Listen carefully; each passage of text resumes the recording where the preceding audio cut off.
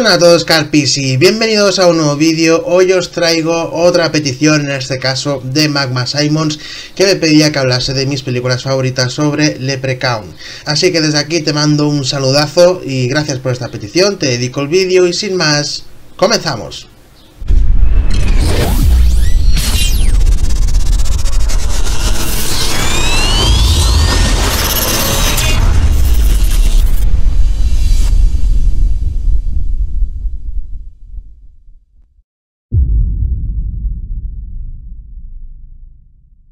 En el quinto puesto he situado Leprechaun 6 Back to the Hook o eh, lo que es lo mismo Leprechaun 6 El Regreso. Es una secuela directa de Leprechaun 5 In the Hood y la sexta entrega eh, de toda la saga. Lo que pasa es que estas dos películas son un poco más independientes al resto de la saga.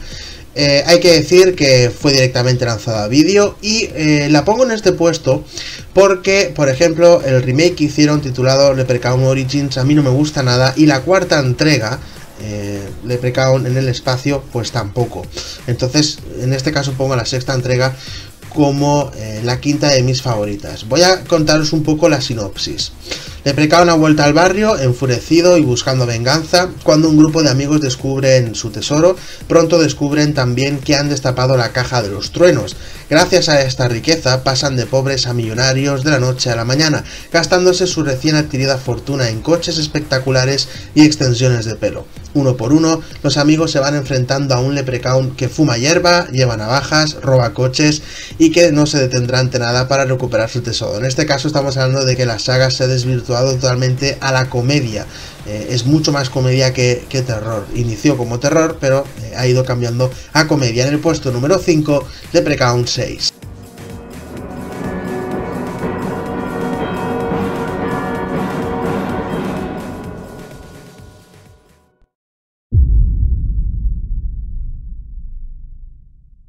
En el cuarto puesto he situado Leprechaun 5, de la que antes he comentado que es la precuela de Leprechaun 6, de dos películas que como he dicho antes están un poco apartadas de la saga.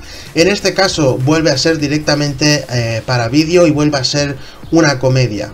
La historia nos cuenta que tras un largo y dorado letargo, el Leprechaun es devuelto a la vida por unos raperos torpes que quieren un trampolín para su carrera musical.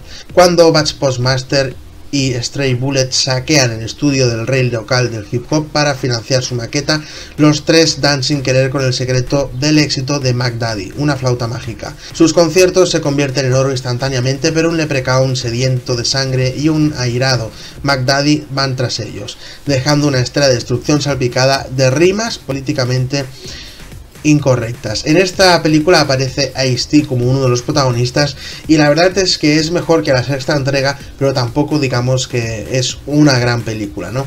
Pero eh, en este puesto creo que se merece estar esta película.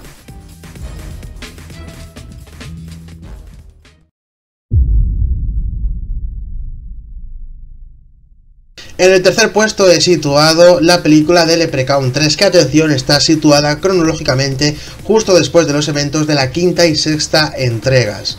Es una película ya con un tono más slasher y fue la primera película que fue lanzada a vídeo de este personaje. En cuanto a la trama, en este caso tenemos que en una noche normal de Las Vegas, Nevada, un hombre con una mano, un ojo y una pierna camina en una tienda de empeño con una estatua de un leprechaun que tiene una mirada horrible. El dueño de la tienda de empeño, sin tener cuidado por el sujeto, saca el medallón que fijaba el leprechaun dejándolo libre y por lo tanto matará a cualquiera que se acerque a este medallón. Esta película sí me parece mejor que cualquiera de las que he nombrado antes, de la cuarta, la quinta, la sexta y de Origins, y creo que en esta mitad de la tabla está bastante bien situada.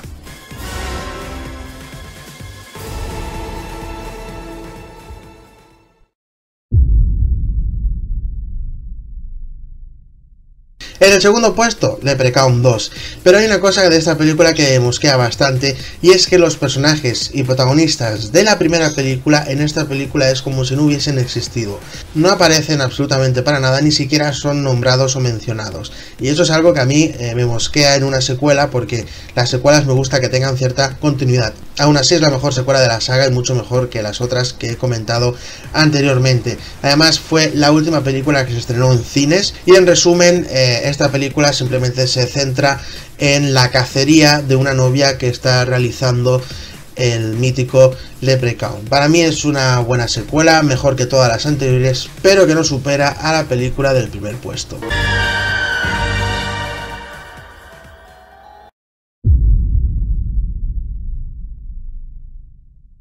Y en el primer puesto creo que está claro, ¿no? La primera entrega de Leprechaun, que aquí se llamó La Noche del Duende, y es sin duda la mejor película. En esta película sí que tenemos eh, el terror como primer género y luego ya después la comedia. Además creo que es la segunda película de Jennifer Aniston, pero la que más le dio a conocer dentro del mundo del cine, ¿no? En esta película básicamente el duende va en busca de su oro que lo ha perdido tras años encerrado eh, en una caja, ¿no? Cuando es liberado pues eh, va en busca de ese oro y obviamente a quien se encuentre por su camino se lo va a cargar.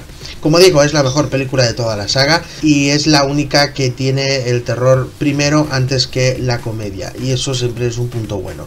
Sí que es cierto que siempre se ha dicho que este personaje podría tener un crossover con Chucky, pero bueno, eh, yo no los veo muy cercanos a los dos para, como para eso. Como digo, la mejor película, creo que hay muchas entregas de la saga eh, que sobran, como por ejemplo las versiones In o la del espacio, pero esta película sí que es muy recomendable. El primer puesto para la noche del duende de Precaun.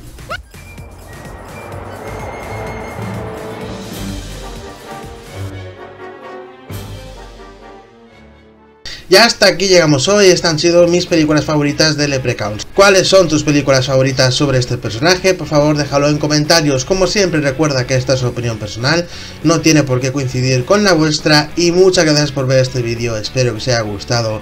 Nos vemos en el próximo, dale like, comparte y suscríbete para más vídeos. Adiós.